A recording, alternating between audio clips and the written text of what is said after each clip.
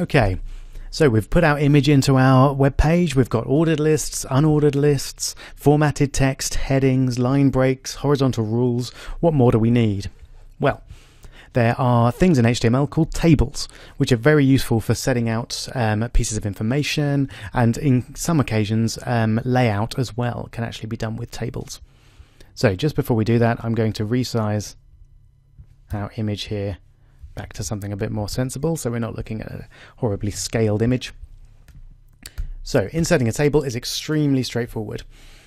We start with the table tag.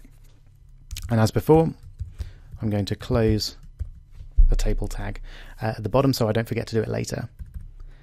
Now, every table consists of rows and columns. So we're going to start by defining a table row with the table row tag tr. Now, this table row is going to be a header row. So I'm going to use the th tag to define a table header cell. So each bit of a table is called a table cell, and I'm going to um, define some header tables.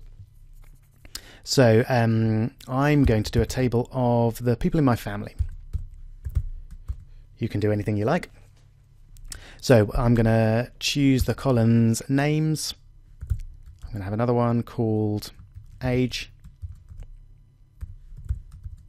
And a third one, whoops, called gender. Okay, oh, I've made the gender a tag. Don't want to be doing that. Okay, so table row and then table header names, table header age, table header gender. And now I'm going to close my table row. I'll give you a moment to, to do that yourself. All right. Let's just have a look at what that looks like before we fill in the rest of the data. Oh, I didn't save it. There we go. So it's now just names, age, gender. It doesn't really look like a table at all yet because we haven't put any data in. All right, so I want another table row. And in this table row, I'm now just going to have a normal cell. And we do that by using the TD tag.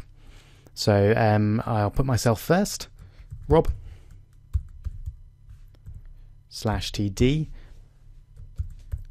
a second table cell, another TD, I'm 33. Close that cell,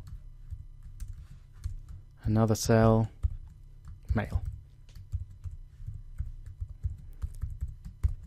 Great.